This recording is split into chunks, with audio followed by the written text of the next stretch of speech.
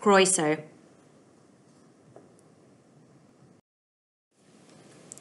Hello everyone, I'm Mrs. Khalees. And I'm Mrs. Wilkes. And in this presentation, we will be exploring the wonders of Sociology A-Level. Some of you may be asking, what is sociology? To put it briefly, it's the study of how society is organised and how we experience life. In terms of the course, we will cover a range of topics, including race, social class, crime and deviance, poverty, education, and more theoretical wider issues such as the impact of the radical changes to the whole of society. One of the many key studies that we look at in A-level is that of feral children. Here you can see quite a shocking image of a girl known as Oksana imitating the behaviour of dogs. Oksana, at the age of three, was neglected by her alcoholic parents and left outside one night with a pack of dogs. Oksana eventually became one of the pack and less like a human. Oksana Malaya began her life living with dogs.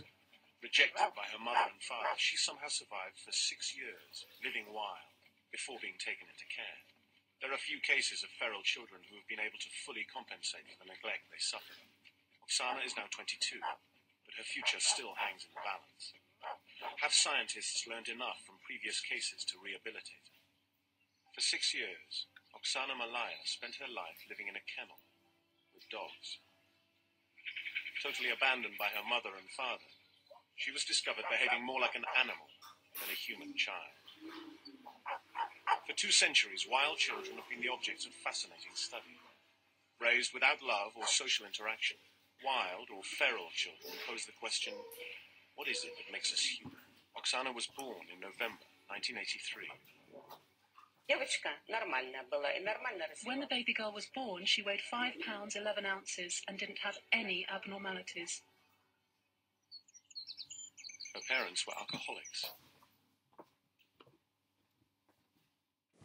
You might also be interested in discussing society's most pressing questions. For example, does inequality still exist within society? Are the police force institutionally racist? Do women still face gender inequality in the workplace? Does social class determine success in education?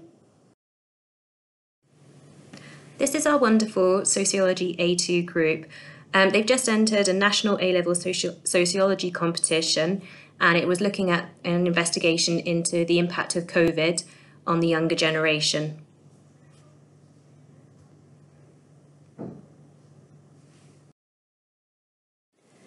So the AS specification next year that you'll study looks at culture and identity, families and households, the impact of education, and lastly, research methods.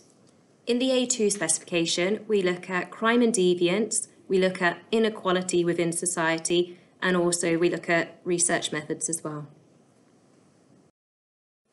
Sociology is a widely recognised A-level and is highly valued by universities. Many of our previous students have successfully gone on to study a degree in sociology at Russell Group universities.